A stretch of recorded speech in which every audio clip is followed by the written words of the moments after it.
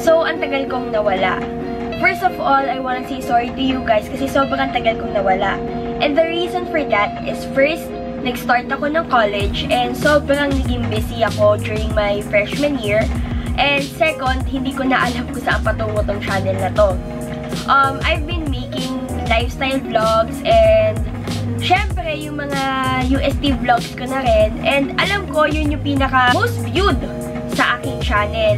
And nag-start ako ng college, I don't think na ayun pa yung content na gusto kong i-create. So, nag-stop muna ako and nag-focus muna ako sa sarili ko and nag-focus din ako sa career ko as a makeup artist. Recently, nahanap ko yung will ko na mag-vlog uli and siguro dahil ngayon, I am happy and motivated. And for that, I want to rebrand my channel and I want to reintroduce myself to you guys.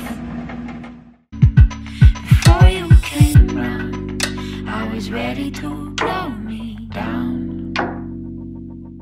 Hello ganda! Ako si Mia at isa kong freelance makeup artist. Passion ko talaga ang pag-makeup kaya naman kahit nag-aaral ako ng college, gusto ko pa rin i-pursue ang pagiging makeup artist. Ginawa ko tong channel na to para i-share sa inyo ang makeup artist journey ko. I am a trained makeup artist and nag-research din ako tungkol sa makeup. Kaya naman, I'm sure na yung mga videos na mapapanood nyo dito ay informative, lalo na sa mga aspiring makeup artists out there. So, if you wanna learn more about myself and my journey as a makeup artist, please watch my next videos. I would be uploading videos tuwing Sunday, kaya naman mag-subscribe na at i-hit ang bell button sa ibaba para naman notified ka kung kailan lalabas ang aking bagong videos. Salamat ganda! The ocean.